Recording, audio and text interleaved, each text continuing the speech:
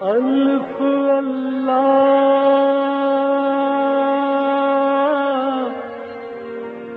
چمبے دی بوٹی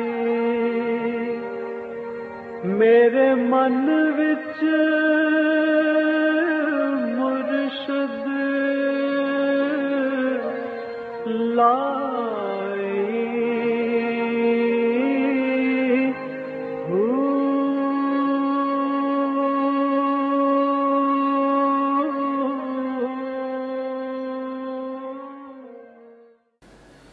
بسم اللہ الرحمن الرحیم۔ السلام علیکم پریا عمل مرشد اور میں ہوں منور عتیق اور میرے ساتھ موجود ہیں جناب حضرت امیر محمد اکرم اوان صاحب۔ آپ سلسلہ نقش بندیہ ویسیہ کے شیخ ہیں، مترجم قرآن ہیں، مفکر قرآن ہیں، شاعر ہیں، ادیب ہیں، بہت سے حوالے ہیں آپ کے تعارف کے۔ ناظرین محترم، جیسا کہ آپ جانتے ہیں کہ ہم نے گزشتہ دو پروگرام سے اپنے فارمیٹ کو تھوڑا سا چینج کیا ہے۔ اور ہم یہ چاہ رہے ہیں کہ چونکہ آپ ہی لوگوں کی سجیشنز تھی ہمارے پاس، آپ ہی لوگوں نے بہت ساری ای میلز کی ایس ایم ایس کیے۔ جو بھی سوال آپ کی طرف سے آتا تھا، اس میں چونکہ ہمارے پروگرام کا وقت اتنا کم ہوتا ہے کہ اس میں پوری ڈیٹیل میں اگر ہم جاتے تو پھر ہم کسی ایک ٹاپک کے اوپر تو بات کر سکتے تھے، لیکن سب سوالوں کے جواب دینا مشکل تھا۔ سو ہم نے یہ سوچا کہ اب جو فارمیٹ آپ کے سامنے ہم لے کر آئے ہیں، اس میں ہم ایک بریک میں ایک موضوع کو ٹچ کریں گے، ایک ٹاپک کے اوپر بات حضرت جی سے رہنمائی لیں گے، ایک ٹاپک ہوگا اور اس کے بعد پھر اگلا ٹاپک، پھر تیسرا۔ اور یہ دو پروگرامس کے بعد پھر ہم کوشش کریں گے کہ جو ہمارا آخری پارٹ ہے، اس میں ہم آپ کے سوالات کو اسی طرح سے شامل کریں اور ان کے جوابات کے لیے حضرت جی کے سے رجوع کریں۔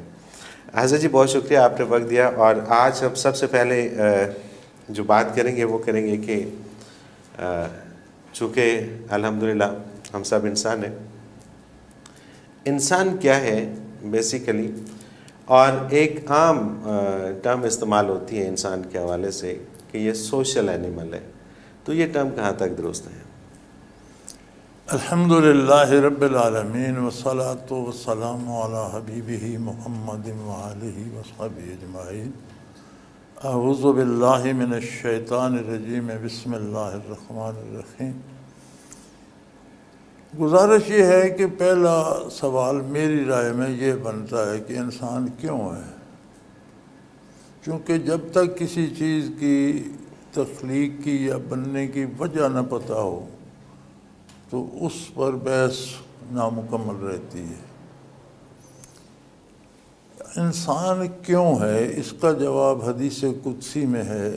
اللہ کریم نے فرمایا، کن تو کنزن مخفین کہ میری ذات، میری صفات ایک پوشیدہ خزانہ تھی۔ مخلوق تھی۔ زمین و آسمان بن گئے، فرشتے تھے، جنات تھے، بے شمار مخلوق تھی۔ لیکن ساری مخلوق حکم کے تابع تھی۔ کسی مخلوق میں یہ جرت نہیں تھی کہ وہ حاکم کی طرف نگاہ اٹھا کر دیکھے۔ حکم نازل ہوا، مان لیا اینڈ دیٹس آل فاحبب تو ان عورف ہو تو میری ذات کو یہ بات پسند آئی کہ کوئی پہچاننے جاننے والا بھی ہو۔ یہ تو حکم کے پابند ہیں، مجبور ہیں، ان کی کوئی مرضی نہیں۔ جو حکم ملتا ہے، کرتے ہیں۔ کوئی ایسا بھی ہو کہ جو مجھے پہچانے، پھر میری عظمت کو جان کر میرے حکم کی اطاعت کرے۔ جبرن نہ کرے، پسند سے کرے۔ کوئی ایسا ہو جو مجھے پہچانے، مجھ پر فدا ہو اور قربان ہونا چاہے میری اطاعت کرنے۔ فخلقت الخلق، تو ہم نے یہ مخلوق پیدا فرمایا۔ انسان بنیادی طور پر انس سے مشتق ہے۔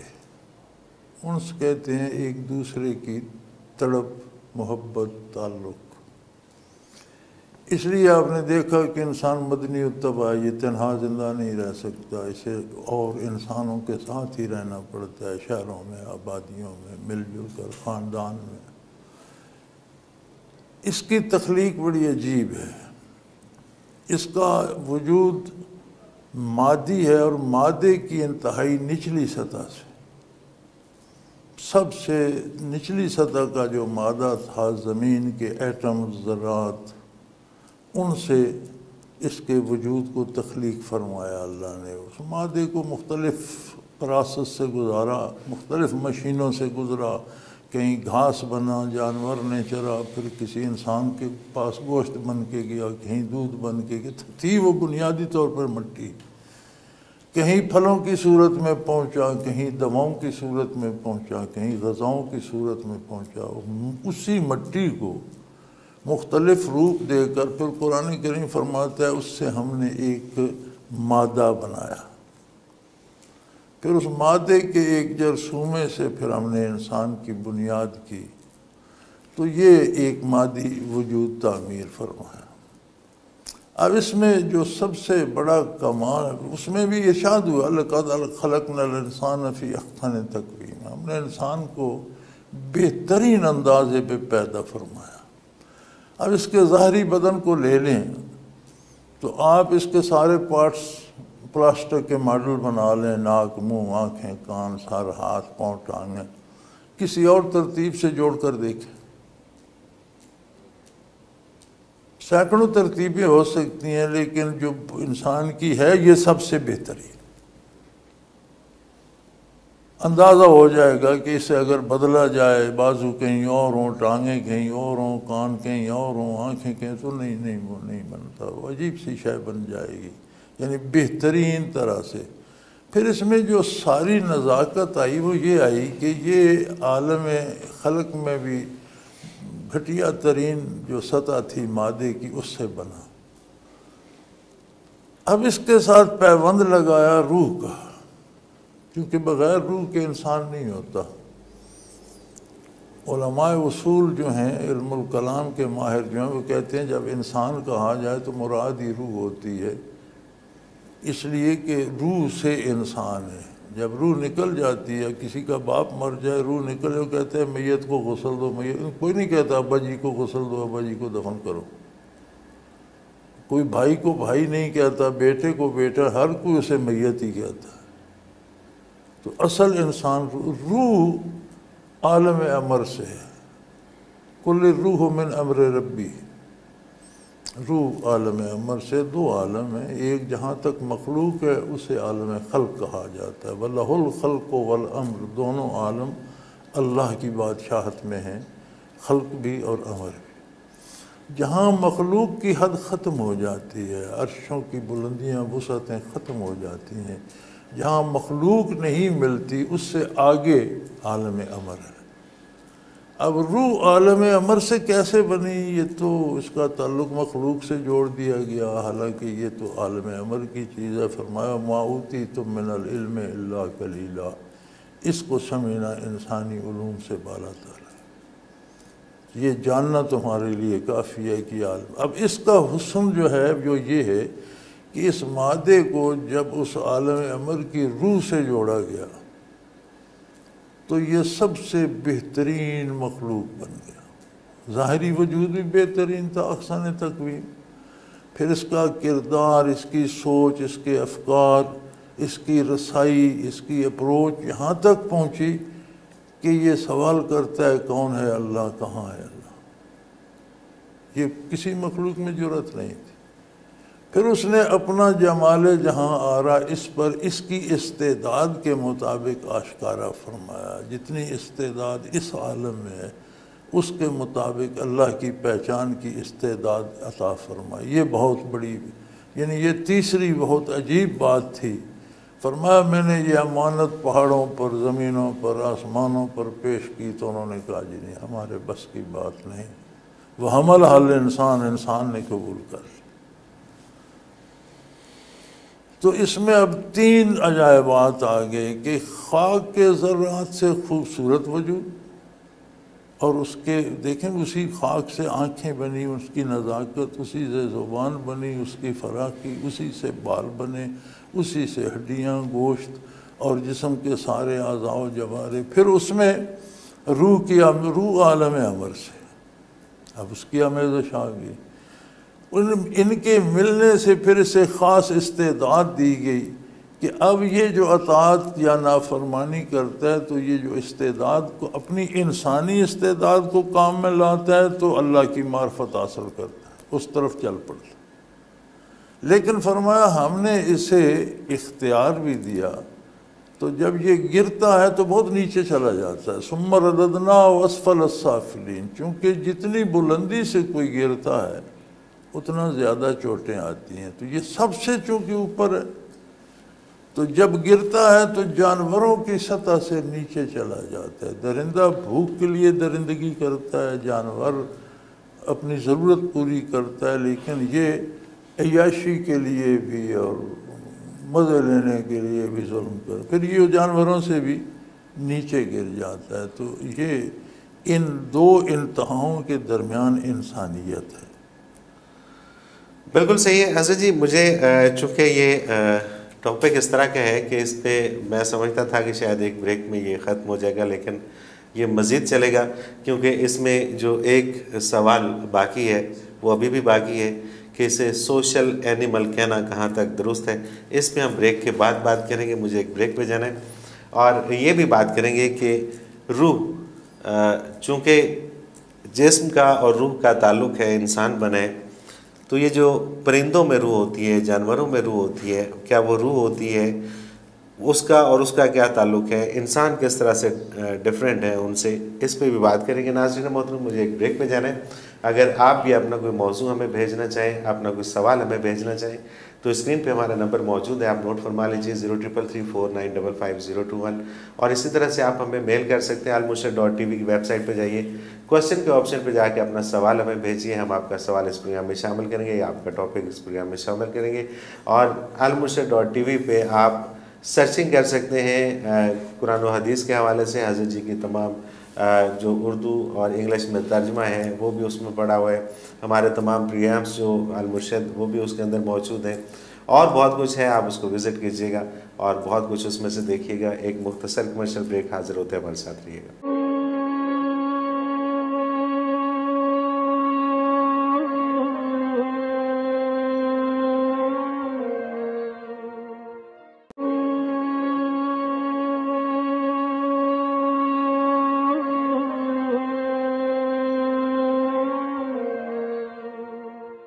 پریام میں ایک بات پھر خوش آمدید ناظرین محترم، آپ دیکھ رہے ہیں پریام المرشد اور ہمارے ساتھ موجود ہیں ہمارے بہت ہی محترم جناب حضرت امیر محمد اکرم امان صاحب۔ حضرت جی بریک سے، بریک پہ جانے سے پہلے جو ٹاپک چل رہا تھا پھر وہی بات کہ وقت جتنا بھی ہو تشنگی باغی رہ جاتی ہے۔ تو اس سوال کو ہی پھر شروع کرتے ہیں کہ اس کو سوشل اینیمل کہنا انسان کو، کہاں تک درست ہے؟ اور پھر روح بیسیکلی کیا ہے؟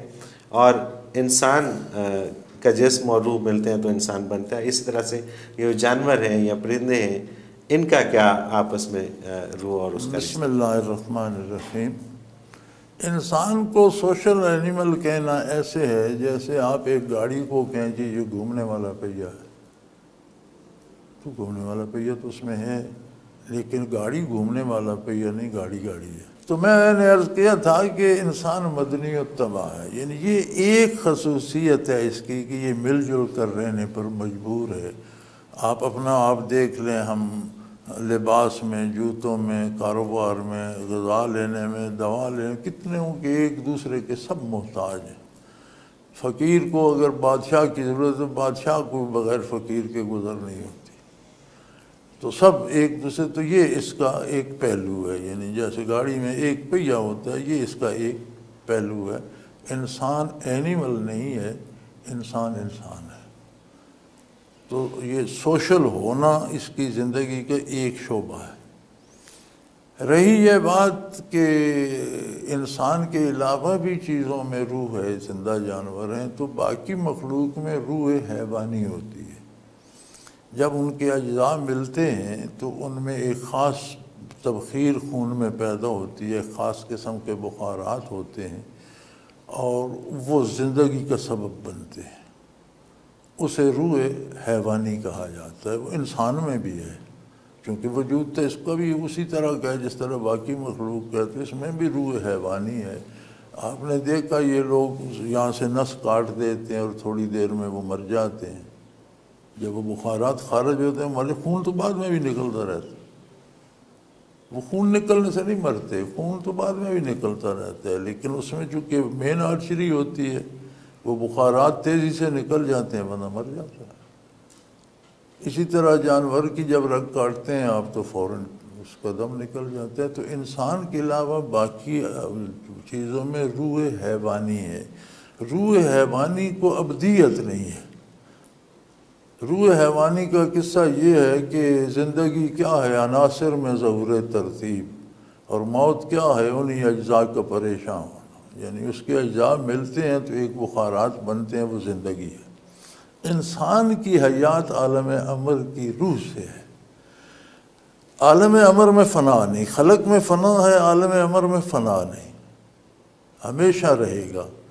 انسانی روح ہمیشہ رہے گی۔ بدن کا تعلق اس سے اتنا مضبوط ہے کہ اگر روح ہمیشہ رہے گی تو بدن بھی ہمیشہ رہے گا۔ لہٰذا اگر عذاب میں گیا تو بھی ختم نہیں ہوگا، ہمیشہ رہے گا۔ انعامات پائے تو بھی ہمیشہ کے لیے ہمیشہ رہے گا۔ یہ انسانی اور باقی ارواح میں فرق ہے۔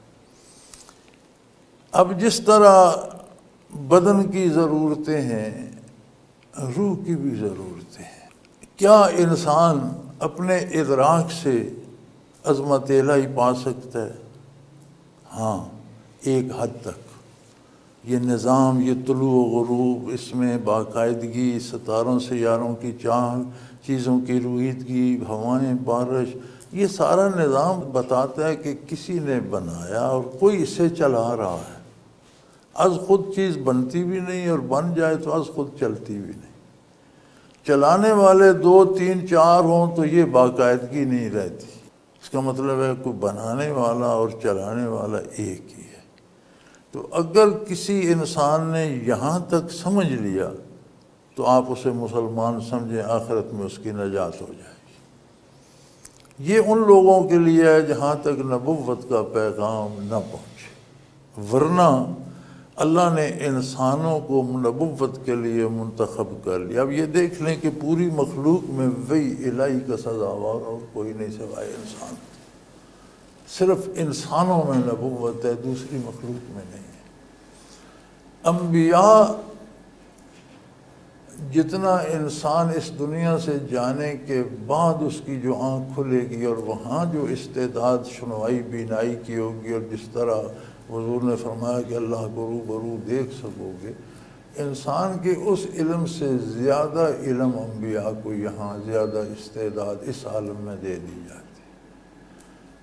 چنانچہ وہ جمال باری کی بھی نشاندہی کرتے ہیں، ثواب پر، انعامات کی بھی نشاندہی کرتے ہیں، نافرمانی پر، سزا کی بھی نشاندہی فرماتے ہیں اور یہ بھی فرماتے ہیں کہ اطاعت کس چیز کا نام کیا کرو گے تو یہ اطاعت ہے۔ کیا اس کے کس کے خلاف جاؤ گے تو یہ نافرمان تو عظمت انسانیت اس میں ہے کہ تعلیم انبیاء کو سیکھے اور اس کے مطابق زندگی بسر کرے۔ زندگی عارضی ہے، لمحاتی ہے، ایک ایک پیریڈ ہے۔ آپ کا جیسے مختلف ادوار ہیں۔ اب زمین میں تھے ذرات، روح عالم عمر میں تھی۔ پھر دوسرا لمحہ آیا وہ غذا میں تب دوا میں تبدیل ہوئے، پھر تیسرا سفر آیا غذا سے مادے میں منی بن گئی، پھر مادے سے بچہ بن گیا، پھر ماں کے پیٹ سے زمین پہ آیا، انسان بن گیا۔ اب زمین سے اگلی منزل قبر ہے۔ قبر میں ختم نہیں ہو جائے گا۔ قبر ایک انتظار گاہ ہے قیامت تک کے لیے۔ ایک ویٹنگ روم ہے۔ کہ ایک میدان ہوگا جس میں اس سب باتوں کا محاسبہ ہوگا کہ آپ کو کتنے انعامات دیے گئے، اس کا کیا شکر ادا کیا یا کیا ناشکری کی۔ قیامت کو فیصلہ ہو جائے گا، اس کے بعد جہاں جائے گا، ختم نہیں ہوگا، ہمیشہ رہے گا۔ تو انسانی زندگی روئے زمین پر سب سے قیمتی چیز اور اللہ کی سب سے بڑی مخلوق ہے۔ جس کو اللہ نے معرفت حق کی استعداد دی ہے۔ انبیاء سے استفادہ کرنے کی استعداد دی ہے۔ ان انوارات و برکات کو اپنے قلوب میں وصول کرنے کی توفیق دی۔ اور پھر اس پہ چھوڑ دیا دیکھیں نا، یہ یہ بڑا کمال یہاں ہے کہ جب اسے پہچان کی استعداد دی، پھر فیصلہ اس پہ چھوڑ دیا۔ کہ اب تم مجھ پہ فدا ہوتے ہو یا مادی وجود جو ہے وہ تو کوشش کرتے ہیں دنیاوی لذات کی طرح اور اس کریم نے روکا نہیں ہے، اس نے کہا دنیاوی لذات تمہارے ہی لیے ہیں۔ لیکن اس قاعدے سے حاصل کرو جو میں بتاتا ہوں۔ میں مان سراہ میری ہے، برتن میرے ہیں، ان میں کھانا میرا ہے۔ تم ہی کھاؤ، تم ہی نے کھانا ہے، تمہارے لیے ہے۔ لیکن جس ترتیب سے سر ہو، اس سے کھاؤ، چھینا جھپٹی نہ کرو، پلیٹیں نہ توڑو، ایک دوسرے پر کھانا گراؤ نہیں، آرام سے تمیز کے بیٹھ کر کھاؤ۔ حلال کماؤ اچھا لباس پہنو، حلال کماؤ، اچھی گاڑی رکھو، حلال کماؤ اچھا مکان بن کون منع کرتا ہے؟ دنیا کی ہر نعمت استعمال کرو، لیکن دوسرے کا حق چھین کر نہیں۔ اپنے جائز وسائل سے اپنا حق لے کر۔ دوسرے کا چھینو گے تو یہ بدتمیزی ہوگی، جواب طلبی ہوگی، اس پر سزا بھی ہوگی۔ بالکل صحیح ہے۔ حضرت جی مجھے ایک بریک پہ جانا ہے۔ اگر آپ بھی اپنا کوئی موضوع ہمیں بھیجنا چاہیں، اپنا کوئی سوال ہمیں بھیجنا چاہیں تو اسکرین پہ ہمارا نمبر موجود ہے، آپ نوٹ فرما لیجیے zero triple three four nine double five zero two one اور اسی طرح سے آپ ہمیں میل کر سکتے ہیں المرشد ڈاٹ ٹی وی کی ویب سائٹ پہ جائیے۔ کوشچن کے آپشن پہ جا کے اپنا سوال ہمیں بھیجیے ہم آپ کا سوال اس پروگرام میں شامل کریں گے یا آپ کا ٹاپک اس پروگرام میں شامل کریں گے۔ اور المرشد ڈاٹ ٹی وی پہ آپ سرچنگ کر سکتے ہیں قرآن و حدیث کے حوالے سے، حضرت جی کی تمام جو اردو اور انگلش میں ترجمہ ہے، وہ بھی اس میں پڑھا ہوا ہے۔ ہمارے تمام پروگرامس جو المرشد، وہ بھی اس کے اندر موجود ہیں۔ اور بہت کچھ ہے، آپ اس کو وزٹ کیجیے گا اور بہت کچھ اس میں سے دیکھیے گا۔ ایک مختصر کمرشل بریک حاضر ہوتے ہیں ہمارے ساتھ رہیے گا۔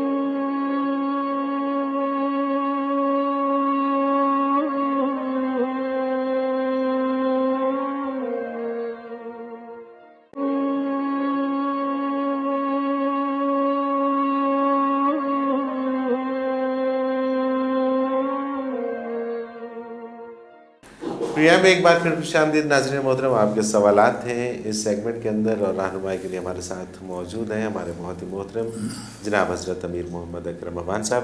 حضرت جی سوالات کا سلسلہ شروع کرتے ہیں اور پہلا سوال ہے عامر میو ہے سیالکوٹ سے، یہ کہتے ہیں جو لوگ آؤٹ آف کنٹری چوری جاتے ہیں، وہ جو پیسے کماتے ہیں، کیا وہ حلال ہوتے ہیں؟ آؤٹ آف کنٹری یا ان کنٹری کا سوال نہیں ہے۔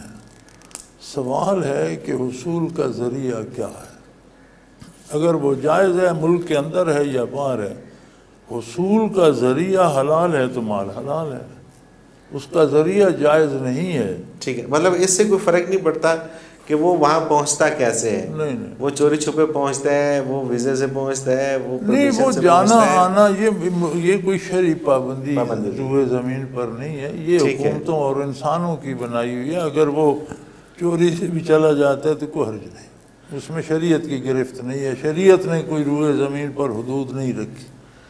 خالدہ بلوچ حیدرآباد سے پریام المرشد دیکھ کر بہت سکون ملتا ہے اور بڑی معلومات ملتی ہیں۔ دعا کے لیے گزارش ہے۔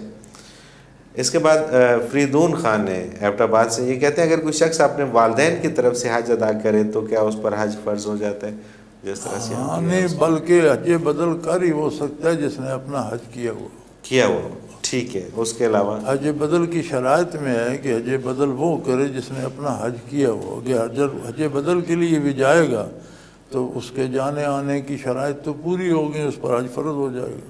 صحیح۔ تو جب اس کا اپنا باقی ہے تو دوسرے کا کیسے کر کیسے سکتے ہیں؟ پہلے اپنا فرض ادا کرے پھر حج بدل بالکل ٹھیک ہے یعنی کہ وہی کر سکتے ہیں جس نے پہلے سے پہلے حج اپنا۔ حج کیا ہوا ہو۔ ٹھیک ہے۔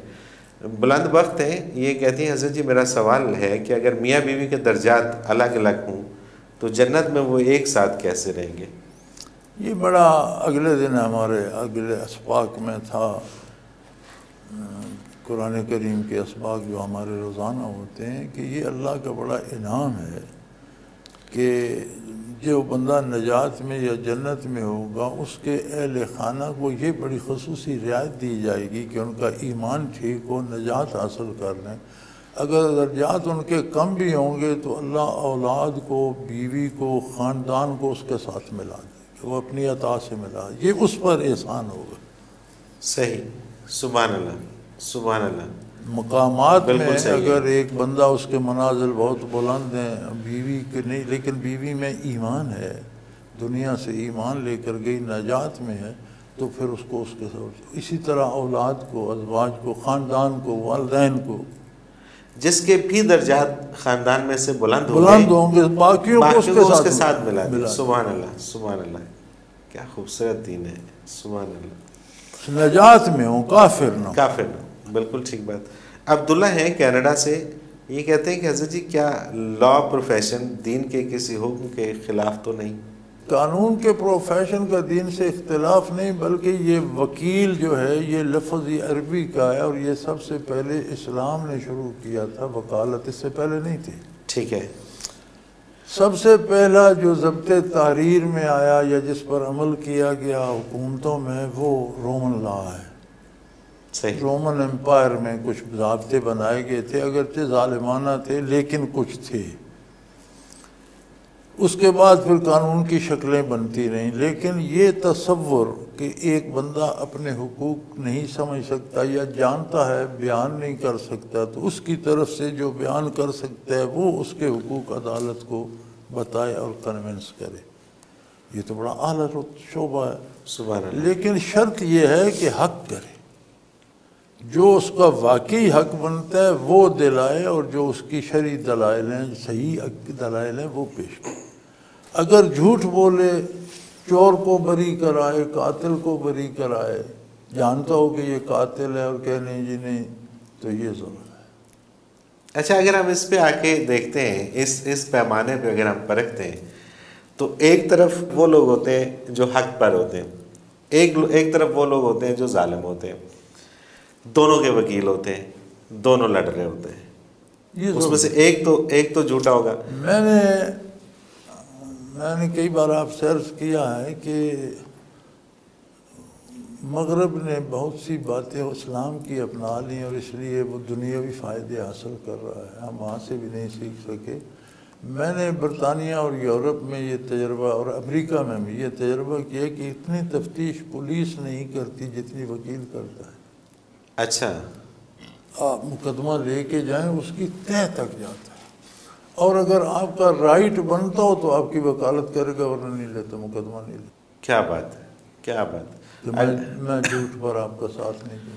اور اگر یہی سلسلہ کسی بھی ملک کے اندر ہو تو انصاف تو پھر میں نے وہاں یہ تجربہ کیا ہے۔ کیونکہ اسلام کے جتنے قوانین ہیں، ان پر کافر بھی عمل کرے تو دنیا کا فائدہ اسے ہوتا ہے۔ چونکہ کرتا دنیا کے لیے، آخرت پر تو اس کا ایمان نہیں۔ تو جب دنیا کے لیے کرتا ہے، تو جب پیاسا کافر بھی اسے ٹھنڈا پانی دو تو اسے ٹھنڈک پہنچے گی۔ تو انہوں نے اپنی دنیا سنوارنے کے لیے یہ چیزیں اسلام سے لی ہیں۔ اب انہوں نے یہ اسٹڈی کر کے لیا کہ وکیل کیوں غلط وکالت کرے؟ جھوٹ کو سچ ثابت کرنے کی کوشش کیوں؟ یہ معاشرے میں نہیں ہونی چاہیے۔ تو وہاں اتنی تفتیش، تفتیشی ادارے نہیں کرتے جتنی وکیل کرتے۔ آپ کسی کام کے لیے وکیل کرنے جائیں، وہ کن کن من کرتے۔ جب مطمئن ہوگا کہ یہ آپ کا حق بنتا ہے، یہاں آپ سے زیادتی ہو رہی ہے، فیس ڈبل لے گا، چار گنا لے لے گا، لیکن تب جائے گا۔ بالکل صحیح بات ہے۔ اور یقیناً پھر وہ کیس جیتے گا، کیونکہ یہ تو یہ تو عبادت ہے یہ تو اگر مسلمان کرتا ہے تو عبادت ہے بلکہ وکیل ہی شریعت نے۔ بالکل صحیح۔ لیکن وہ وکالت اسی پیرامیٹر لیکن آپ کسی آپ دیکھو جس نے کلاشن کوف بنائی پچھلے دنوں مرا ہے وہ روسی۔ تو دفاع کے لیے کتنی اعلیٰ چیز ہے لیکن لوگ اس سے ڈاکے مارتے ہیں قتل کرنے تو وہ تو استعمال والے کی بات ہے۔ بالکل ٹھیک بات یہ نہیں بالکل صحیح۔ اس کا استعمال اگر ٹھیک ہے تو پھر یہ بڑا مقدس پیش ہے۔ اشفاق احمد ہے یہ کہتے ہیں کہ صدیق اور صالحین سے کیا مراد ہے؟ امت محمدیہ میں کون کون صدیق اور صالحین میں شامل ہیں؟ بسم اللہ الرحمن الرحیم۔ دو چیزیں ہوتی ہیں میرے بھائی۔ ایک ہوتے ہیں مراتب اور ایک ہوتے ہیں مناسب۔ مراتب ہوتے ہیں تعلیم کی طرح۔ یہ میٹرک ہے، یہ ایف اے ہے، یہ بی اے ہے، یہ ایم اے ہے۔ اب ظاہری علوم میں تو ہم سمجھ سکتے ہیں کہ یہ پی ایچ ڈی ہے، یہ ماسٹر ہے۔ علوم باطنی کے نتائج اللہ کے اختیار میں ہم گمان کر سکتے ہیں کہ یار اس کے کردار سے پتہ چلتا ہے کہ یہ اچھا آدمی ہے۔ یہ ہمارا گمان ہے۔ حقیقت اللہ کے پاس ہے۔ یہ مراتب ہیں۔ ایک ہوتے ہیں مناسب۔ جس طرح نظام کائنات میں ستارے سیارے ہیں، سورج اپنی ڈیوٹی دے رہا ہے اگر سورج نہ ہو تو کائنات کا نظام نہیں چلتا۔ چاند اپنی ڈیوٹی باقی سیارے سب کی جو ہے توجہ زمین کی طرف ہے، ان کے اثرات زمین پر مرتب ہوتے ہیں تو حیات چلتی ہے۔ اسی طرح انسانوں میں بھی کچھ لوگ مقرر کر دیے جاتے ہیں، جنہیں اکتاب یا غوث یا ابدال یا صدیق یا یہ درجات ملتے ہیں۔ تو یہ درجات جو ہیں یہ ضروری نہیں اب صورت کے لیے ضروری نہیں کہ اسے پتہ ہو کہ اس کے شوق سے کیا کیا ہو رہا ہے۔ ٹھیک بات۔ ان صاحب درجات کو بعض اوقات خود بھی نہیں پتہ ہوتا کہ میرے پاس یہ منصب ہے جب آگے جائیں گے تو راز کھلے گا۔ صحیح۔ لیکن ان کے وجود کی برکت سے وہ چیزیں نظام کائنات متاثر ہوتا رہتا ہے۔ اس طرح قطب ارشاد ہوتا ہے رشد و ہدایت کے امور اس سے ہوتے ہیں۔ تو آج کے دور میں پتہ چلتا ہے کہ قطب ارشاد یا ہے نہیں اگر ہے تو کوئی بہت کمزور آدمی ہے کہ ارشاد نیکی کم پھیل رہی ہے برائی زیادہ پھیل رہی ہے۔ تو ان کے وجود سے وہ چیزیں وابستہ ہوتی ہیں۔ اب یہ اولیاء میں اپنا ایک درجہ ہوتا ہے۔ صحابہ میں بحثیت صحابہ اگر ابو بکر صدیق ہیں تو اور ولی صدیق ہوگا تو ان کے پاس کو نہیں یہ اولیاء میں صدیق ہوگا وہ صحابہ میں۔ نبیوں میں فرما ابراہیم علیہ السلام کے بارے نوکان صدیق النبی وہ صدیق بھی تھے اور نبی بھی تھے۔ تو انبیاء میں وہ مرتبہ ہوگا تو وہ نبیوں کی سطح کے اوپر ہوگا۔ بالکل صحیح بالکل ٹھیک۔ تو یہ متعین کرنا یہ ہمارے بس کی بات نہیں ہے۔ یہ وہ اللہ کریم بہتر جانتے ہیں۔ ہم گمان کر سکتے ہیں صحیح۔ کہ یہ بندہ نیک ہے اس کی وجہ سے نیکی پھیل رہی ہے۔ بالکل ٹھیک بالکل ٹھیک۔ اس لیے تو لوگوں کو پتہ نہیں ہوتا بڑی فراخ دلی سے رنگ دیتے ہیں دس دس رنگ کے ایک ایک بندے کو۔ جی ہاں۔ ایسے ہی ہے۔ ایسے ہی ہے۔ بلکہ شروع ہو جاتے ہیں پھر وہ دیتے ہی جاتے ہیں۔ اگلا سوال حضرت جی حمزہ خلیل ہے ابو ظبی سے یہ کہتے ہیں کہ حضرت جی آپ کا پریام سنتے ہوئے رکت تاری ہو جاتی ہے۔ کیا پریام سے بھی توجہ آ رہی ہوتی ہے ٹی وی اسکرین پہ؟ میں نے پہلے عرض کیا نا کہ آپ جس کی بات سنتے ہیں، جس کے پاس بیٹھتے ہیں، اس کے اثرات جو ہیں وہ آپ پر جاتے ہیں۔ پہلے عرض کی نا، جیسے خوشبو کی دکان پہ بیٹھو تو خوشبو آئے گی، لوہار کے پاس بیٹھو تو تپش آئے گی۔ جس شخص کی بات سنو اس کے اثرات ضرور آئیں گے۔ پڑھنے سے بھی سننے سے بھی۔ پڑھنے سے بھی سننے سے بھی بلکہ پڑھنے سے زیادہ آتے ہیں۔ چونکہ پڑھنے میں زیادہ توجہ ہوتی ہے سننے کی نسبت۔ سننے میں تو بعض اوقات آپ دوسری طرف دیکھ رہے ہوتے ہیں بات ادھر سے سن رہے ہوتے ہیں آدھی سمجھی آدھی نہیں سمجھی۔ پڑھنے میں ساری توجہ اس پہ مرکوز ہوتی ہے پڑھنے پہ۔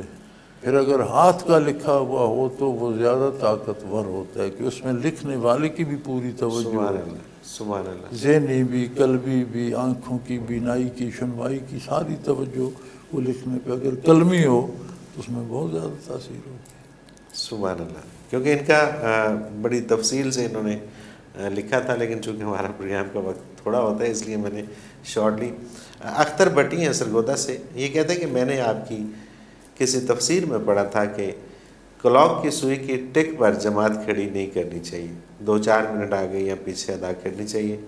لیکن اکثر دیکھا گیا ہے کہ جماعت سوئی کی ٹک پر ہی کھڑی کی جاتی ہے۔ کیا راز ہے اس ان اللہ ناپسندیدہ ایسے مکروح کہتے ہیں۔ اچھا۔ چونکہ اللہ نے فجر کا وقت جو ہے وہ کھلا رکھا ہے۔ طلوع فجر سے لے کر طلوع آفتاب تک۔ کسی بندے کو اختیار نہیں ہے کہ اسے پابند کر دے کہ اتنے وقت پر پڑھو۔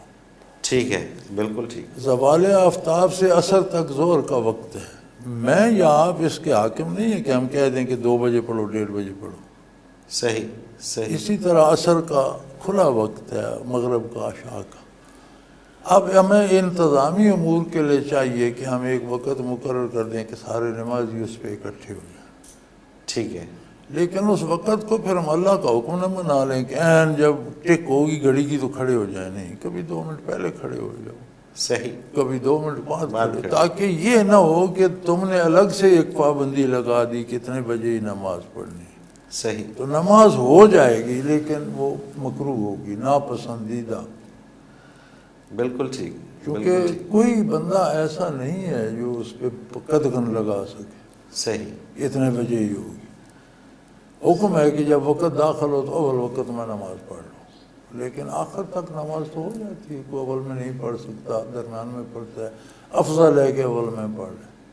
تو اس اول کے لیے یا وقت کے لیے یا نمازیوں کی جمع ہونے کے لیے آپ کہتے ہیں جی دو بجے زور کی نماز کبھی پانچ منٹ رہتے ہیں تو جماعت کھڑی کر لو، کبھی دو تین منٹ بعد جماعت کھڑی کر لو۔ فکس دو بجے کھڑی نہ کرو۔ کیونکہ آپ کو اختیار نہیں ہے کہ اس نماز کا ایک ٹائم فکس کر کے لوگوں کو پابند کر بالکل صحیح بالکل صحیح۔ کیا خوبصورت اس کے پیچھے دلیل ہے کہ۔ بہت شکریہ حضرت جی وہی ہوا کہ ہمارے پروگرام کا وقت اپنے اختتام کو پہنچ گیا۔ آپ کا بہت شکریہ کہ آپ نے وقت دیا۔ ناظرین محترم اگر آپ بھی اپنے سوال کے ذریعے اس پروگرام میں شامل ہونا چاہیں تو اسکرین پہ ہمارا نمبر موجود ہے۔ آپ نوٹ فرما لیجیے zero triple three four nine double five zero two one آپ ہمیں میل کر سکتے ہیں۔ ای میل ایڈریس کے لیے آپ کو جانا پڑے گا المرشد ڈاٹ ٹی وی کی ویب سائٹ میں۔ وہاں پہ کوشچن کے آپشن میں جا کے آپ ہمیں اپنا سوال بھیج دیجیے آپ کا سوال ہم پروگرام میں شامل کریں گے۔ اس کے ساتھ ہی آج کے پروگرام کا وقت اپنے اختتام کو پہنچا۔ منور عتیق کو اجازت دیجیے اللہ حافظ۔